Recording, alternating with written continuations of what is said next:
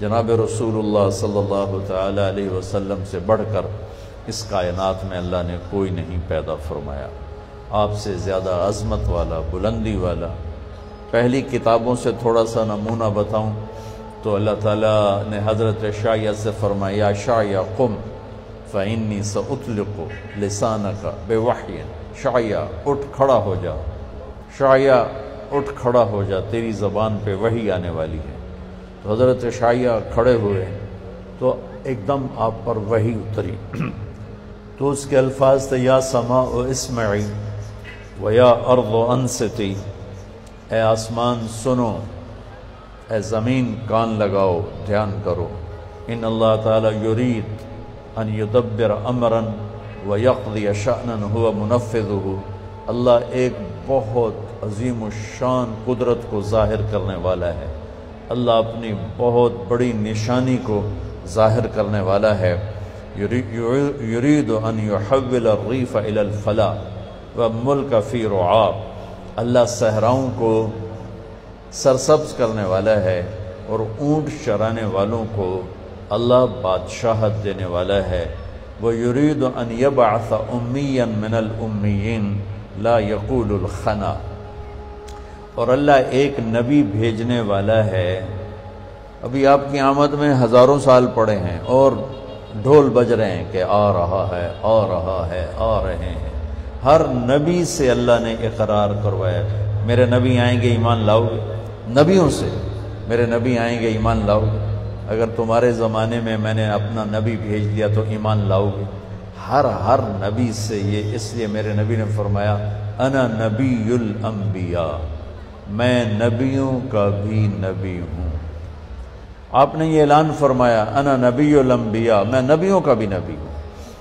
تو ہر نبی سے یہ کہلوایا گیا، ہر نبی سے ایمان تصدیق کروائی گئی۔ تو اب اللہ تعالیٰ کہہ رہا ہے کہ ایک نبی بھیجوں گا جو آنے والا ہے آیا نہیں، آنے والا۔ لا یقول الخنا، آنے کے لحاظ سے تو وہ آ چکے ہیں۔ آج ظاہر ہونے کے لحاظ سے ابھی دیر ہے۔ آنے کے لحاظ سے تو ایک حدیث سناتا ہوں۔ آپ نے فرمایا، اللہ تعالیٰ نے پیدائش کائنات، آدم نہیں، کائنات کی پیدائش سے ہزار سال پہلے سورہ یاسین کی تلاوت فرمائی۔ ایک حدیث اس کے ساتھ جوڑ کے بتاتا ہوں کہ میرے نبی نے فرمایا، میرے اللہ نے میرے دس نام رکھے ہیں۔ میں محمد، میں احمد، میں ماہی، میں حاشر، میں عاقب میں فاتح میں خاتم، میں ابو القاسم، میں طاہا اور میں یاسین۔ بولو، کیا؟ یا؟ بولو۔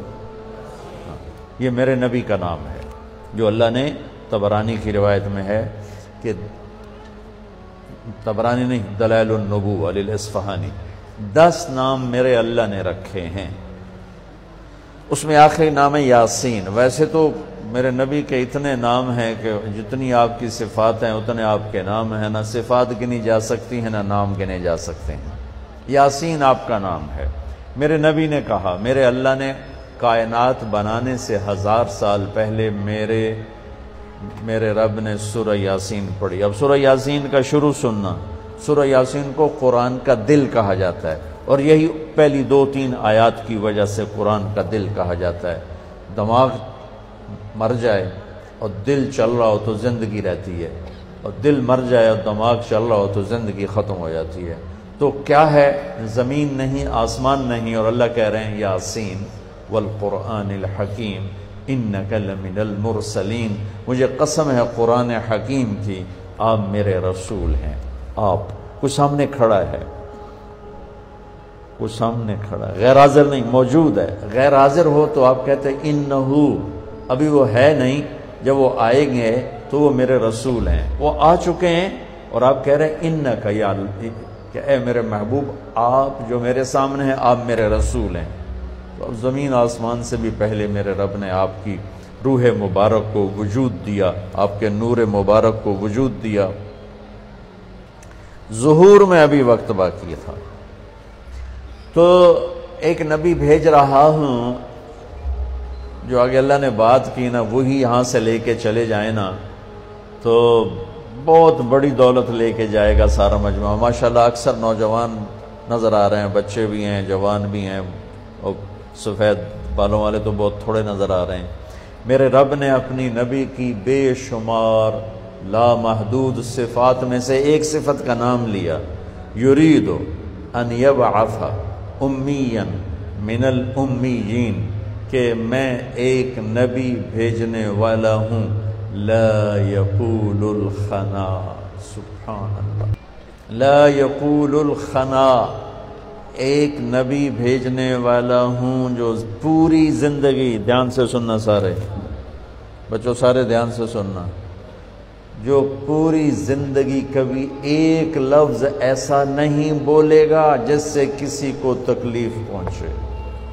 سبحان اللہ نفل پڑھنے آسان ہے تحجد پڑھنی آسان ہے، پیدل حج کرنا مشکل کام ہے، پر آسان ہے۔ پر اس زبان کو روکنا کہ کسی کو دکھ نہ پہنچے میری زبان سے، یہ انتہائی مشکل کام ہے اور بہت عالی شان عمل ہے۔ کیا خوبصورت بات میرے نبی کی اللہ نے بیان فرمائی۔ ایک نبی بھیج رہا ہوں جو پوری زندگی ایسا بول نہیں بولے گا جس سے کسی کو تکلیف کہ کہنے والا کہہ رہا ہو، یا طارق جمیل نے ایسی بات کی نہ میرا دل ہی توڑ کے رکھ دیا۔ یہ جملہ میرے نبی کے بارے میں نہ کبھی کوئی کافر بولا اور نہ کوئی صحابی بولا اور نہ کوئی اپنا بولا، نہ کوئی غیر بولا۔ سبحان اللہ، کہ زندگی میں زبان سے پھول جھڑے، شہد جیسا میٹھا بول نکلا۔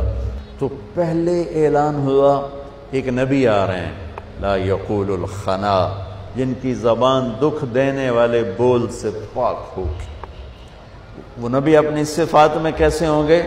لو یمشی علی القصب الیابس، لم یسمع من تحت قدمیہ من سکینت ہی اتنا اونچے مقام کے مالک ہوں گے کہ کعبہ قوسین او ادنا۔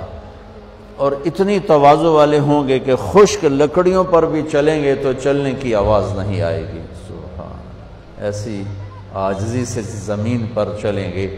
خشک لکڑیوں پر سے تو کوئی پرندہ بھی بیٹھ یوں چلنا شروع کرے تو کڑ کڑ کی آواز آتی ہے۔ اور میرے نبی کے بارے میں میرا اللہ فرما رہا ہے کہ وہ ایسی توازو والے نبی ہوں گے کہ خشک لکڑیوں پر بھی چلیں گے تو ان کے چلنے کی آواز نہیں آئی تھی۔ پرواز اتنی بلند ہے کہ جہاں جبریل کی بس ہو گئی کہ اس سے آگے میں جاؤں گا تو میرے پاؤں میرے پر جل جائیں گے۔ اس سے ایک اتنا، ایک گٹ ایک بالش اگر میں یہاں سے اوپر گیا تو میں جل کے راک ہو جاؤں گا۔ اور اللہ نے اپنے حبیب کو وہاں سے اوپر اٹھایا اور عرش کے دروازے کھلوائے۔ عرش کے اوپر ستر ہزار سے مراد ہے، بے شمار نور کے پردے ہٹا کر اپنا آپ دیدار کروا کے سلام پیش کیا۔ السلام علیکہ نبی النبی ورحمت اللہ وبرکاتہ۔ کہ اے میرے محبوب، آپ کا رب آپ کو سلام پیش کرتا۔ ہے